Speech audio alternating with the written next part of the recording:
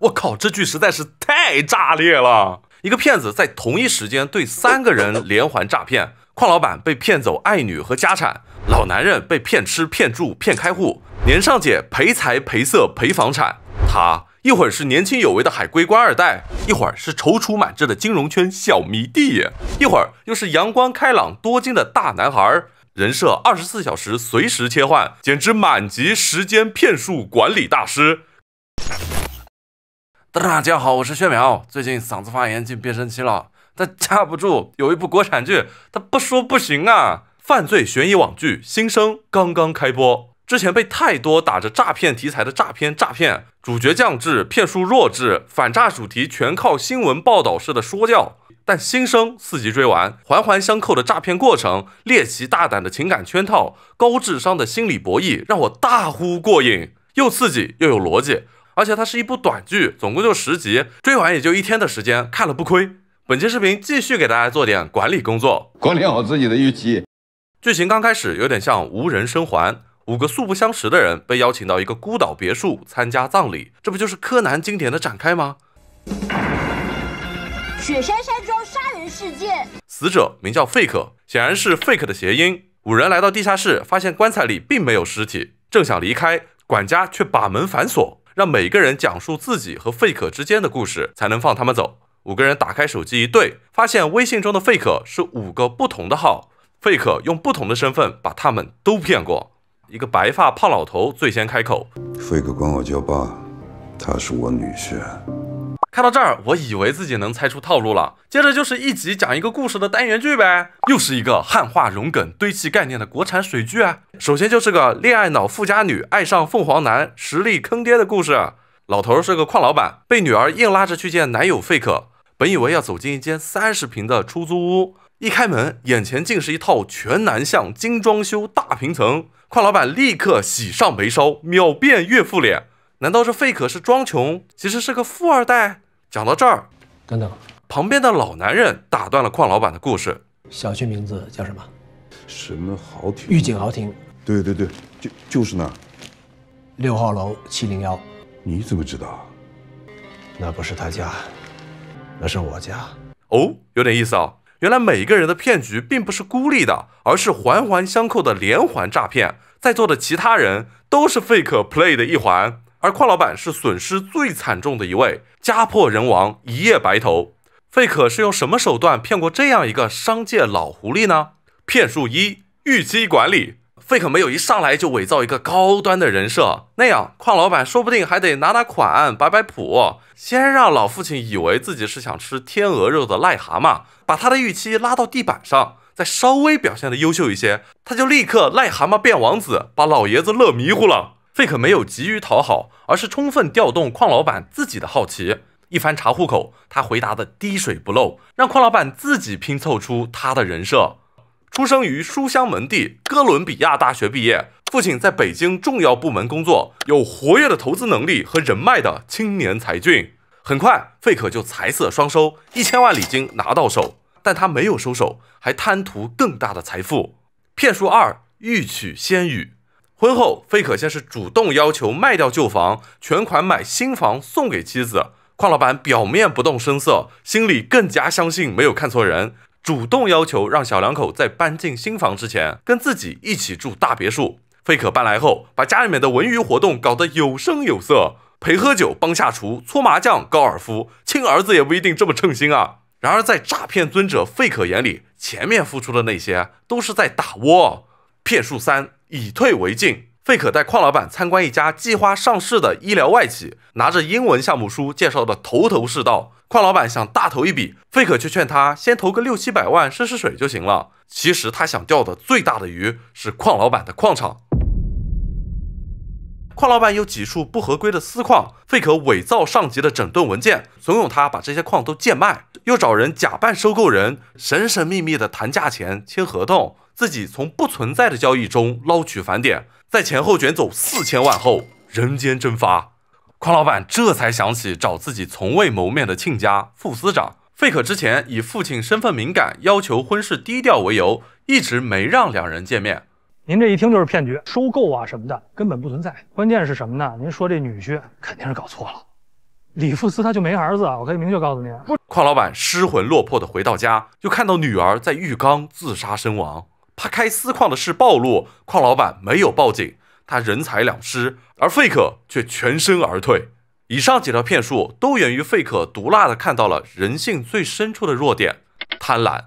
矿老板比起女儿更爱钱和权，为了扩张自己的产业，他需要向上寻求保护伞。费克针对矿老板量身定制了一个官二代的身份，骗取了惊天巨款。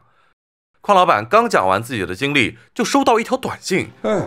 他的账户被打入了四千五百二十万，难道费可想用这种方式还债救赎自己？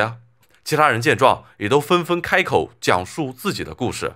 费可房子真正的主人是证券公司的精英老男人，费可在他面前亮出的人设是 INTJ 名牌大学研究生，正在啃 CFA 三级，梦想在金融圈打出一片天地，热爱家务和小动物的纯情小男孩。每一条都正中老玻璃的叉 P 系统，它有种特殊的魅力，让人一见入骨。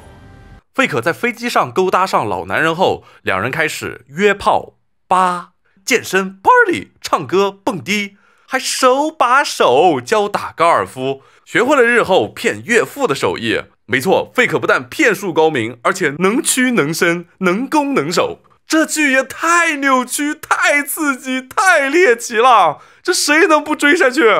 费可利用自己打造的金融圈小萌新人设，激发了老男人养成的欲望。很快，两人就住到了一起。他为他做家务、开车、铲猫砂；他教他看 K 线、均线、人鱼线，又给他开账户、偷内幕、做自己的老鼠仓。出事了都得坐牢，谁愿意替你担着？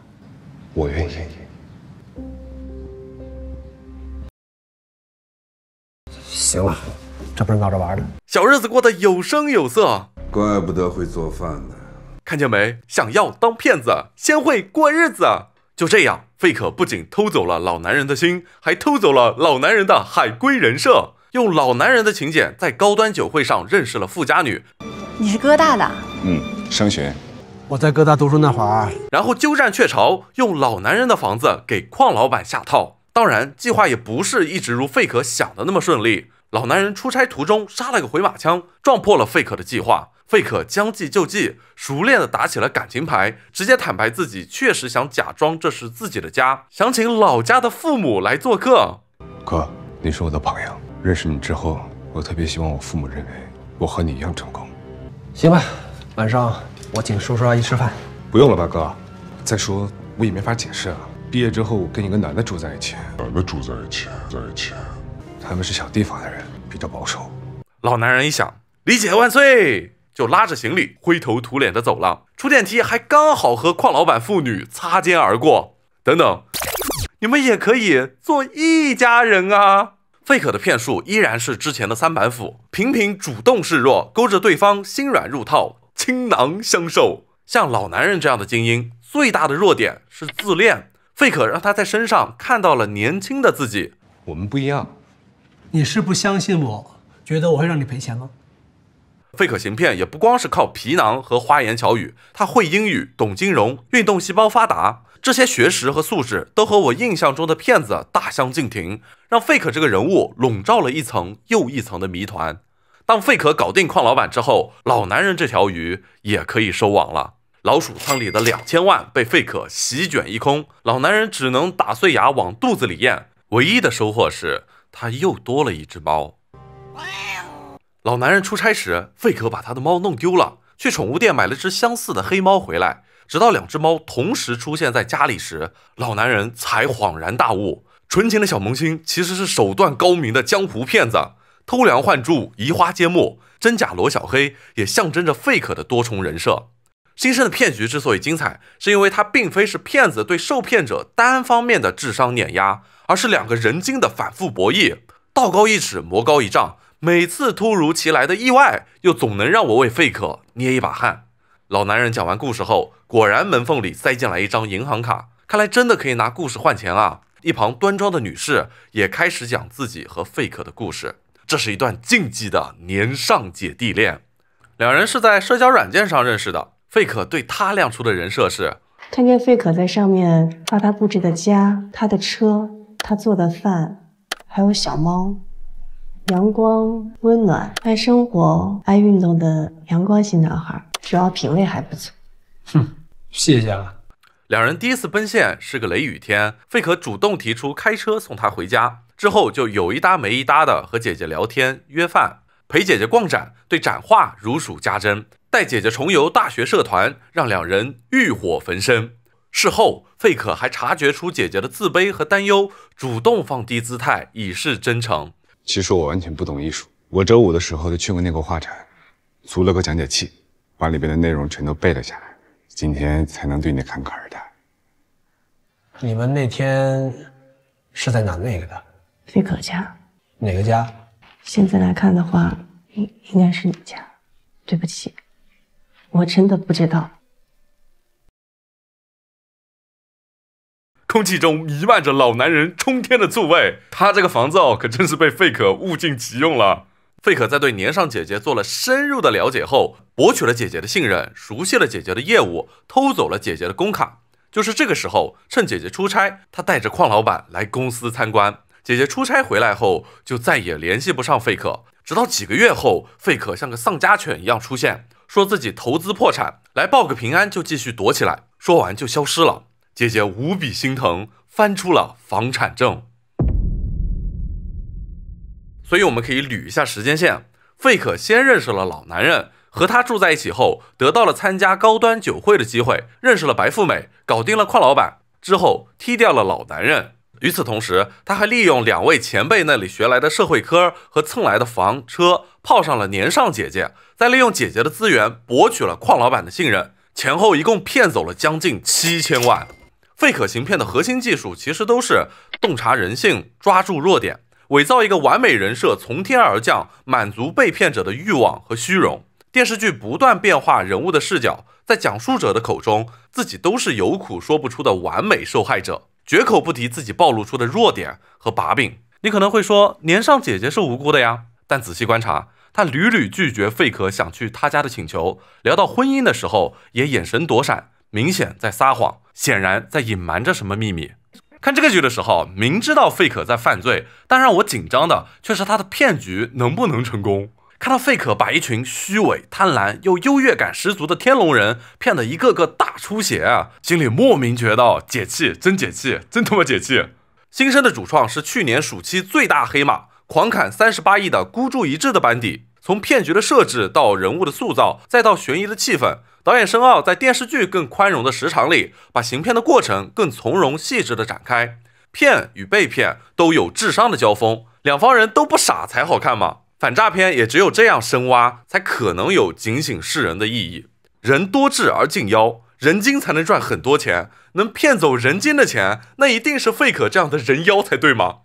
以上就是视频的全部内容。哇，好久都没有看过这么带劲的国产剧了！求点赞，求三连，点个关注，咱们就是过了命的交情了。下个视频见，八八六。